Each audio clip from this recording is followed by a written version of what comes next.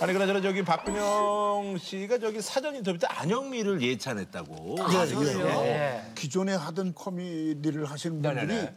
하는 거하고는 전혀 다른 거를 하더라고요. 완전, 그냥 네. 몸이나 뭐 할- 노래할 것 없이 모두 다 아. 그냥 해대는데 그래 저렇게 빠른 속도에 빨리 저렇게 예. 진취적으로 나가야지 저걸 남이 느끼는 걸 느끼고 난 다음에 하려고 그러면 항상 늦는다고요. 아, 이거 이거를 그래도 좋게 보신 거예요? 예. 좋죠. 예. 와.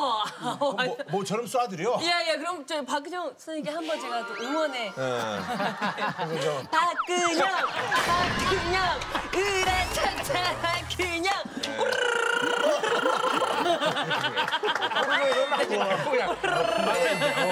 아, 선생님 멈추면 들어서 보이는 것들이 햇니술입니다. 아, 그만해. 젊은 친구들은 부끄러워서 돌아왔고 우리 우리는 이 마주 바라보고 좋아하고 시합은 박기순이에요? 아니면 둘 다죠. 아, 그럼. 둘 다요. 우리는 감동적인 데가 있고 예. 어, 여기는 예, 자극성이 있고 감동적이에요? 감동하죠. 네. 그래요? 그 안에 감동을 주는 부분이 너무 많다고. 잊어봤다. 그래. 아유, 선생님 너무 좋아하시니까.